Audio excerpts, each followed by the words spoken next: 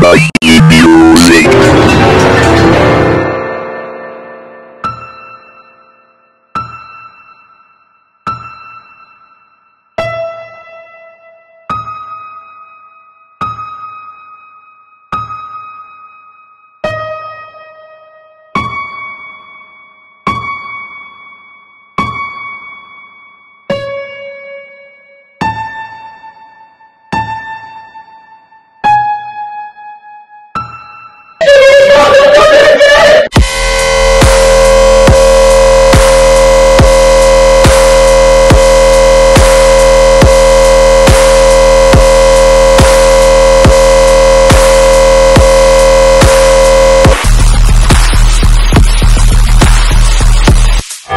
Sometimes I go into the bathroom, close the door, and slip my asshole over the doorknob.